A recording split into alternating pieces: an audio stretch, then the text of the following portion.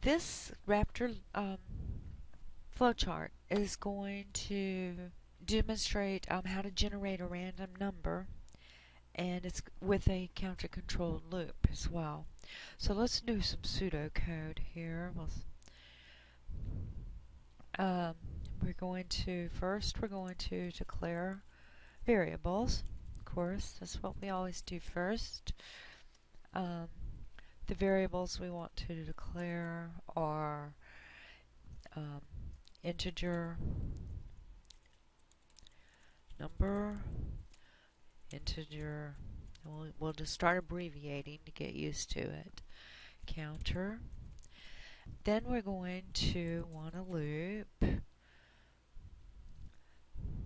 Um, the loop will display five uh, random numbers.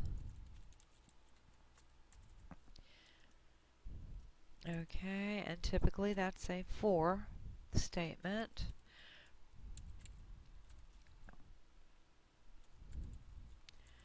Two, five.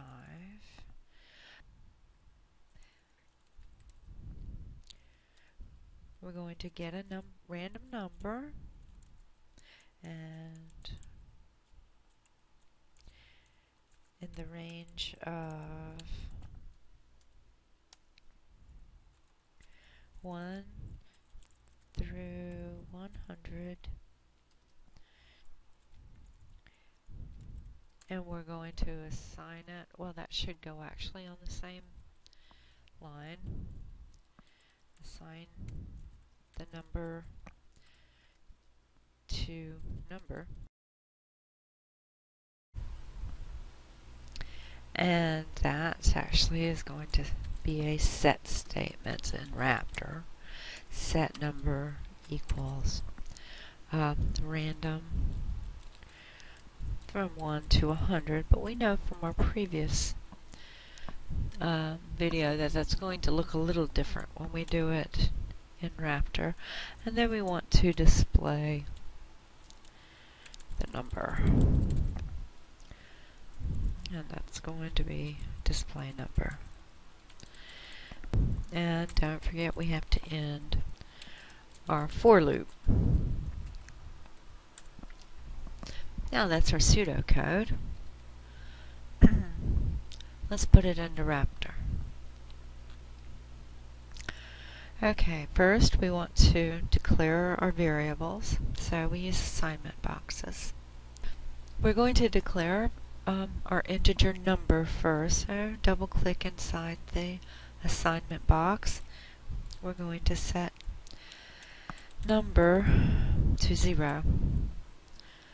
Okay, okay we want to set our counter variable and we are going to go ahead and initialize it to 1.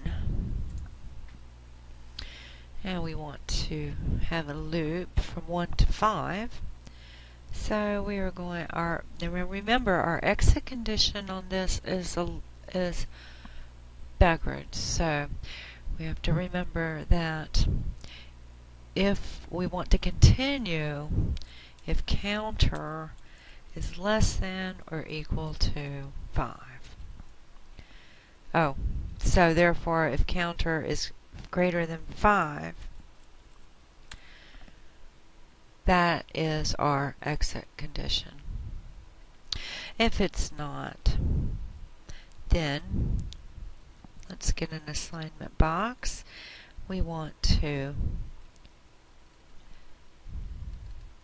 set number to random times 99 plus 1. Okay. And then we want to display the number, which will be an output.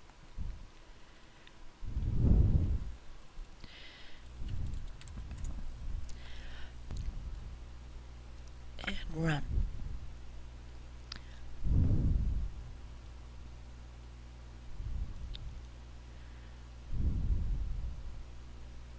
You see it's going through we're getting the numbers in a list over here.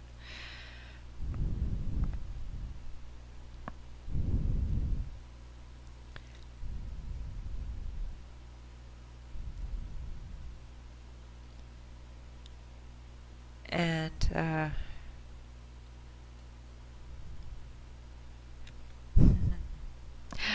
I made the classic mistake of not incrementing our counter variable. So let's stop our run and we will go in here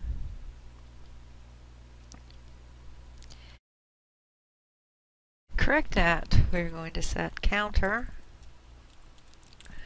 to counter plus 1.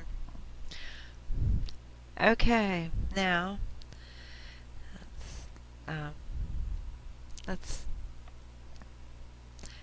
remember by we halted the run to do that. This over here in the watch window only shows the current um, value that's stored in memory for each one of our variables, counter and number, so it's going to change every time through the loop. Over here on the master console, it that's our display, that's our output, our, our console output, if you will. Okay, let's run.